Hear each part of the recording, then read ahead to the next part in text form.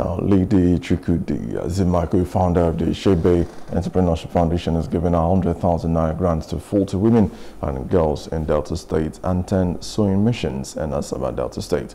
Foundation aims to empower 1 million women and girls across Africa, fight poverty and hunger, and improve life for African women, enabling them to become financially independent uh, and also contribute to the economy.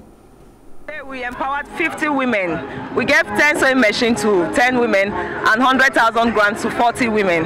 So total 50 women were empowered today. Passionate about women being successful and financially independent.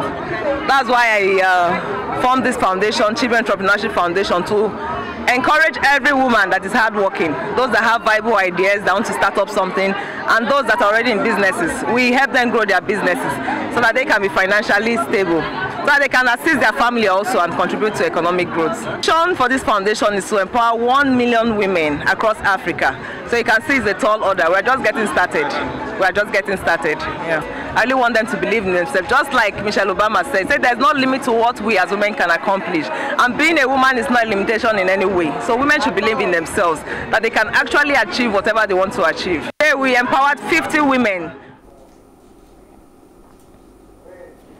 Uh, Bridget uh, Ayanfulu, Delta State House of Assembly member representing uh, South State uh, constituency, emphasized the importance of uh, empowering women as house builders, as this can lead to open peace in society. Any gap, there won't be any gap. You know that uh, God has already empowered the man at, at creation.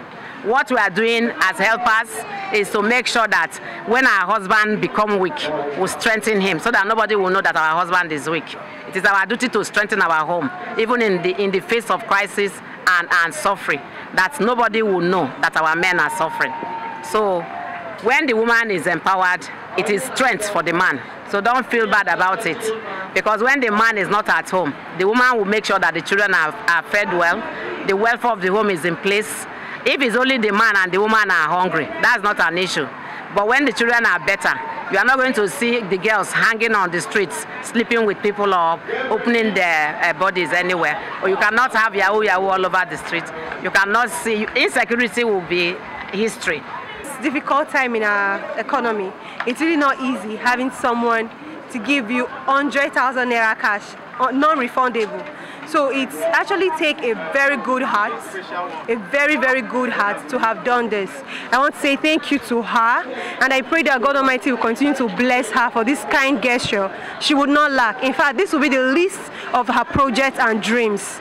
Even our, our, our offspring will not beg in Jesus' name. I am speechless. I've never experienced this in my life. And I want to say thank you to my friend that recommended this grant scheme for me to apply. And I also want to thank Mama Shibi and the entire team for giving me this grant, non-refundable in this Tinubu time. Non-refund, no, no interest, so no payment. I say thank you and this seed that you've planted in my business, I pray that God give me the grace and the efforts and the power to grow this seed and then bloom in Jesus. Um, like my joy knows no bound because the economy we are right now, it's not easy to see someone who can just give you 50,000, 20,000, not talk of 100,000.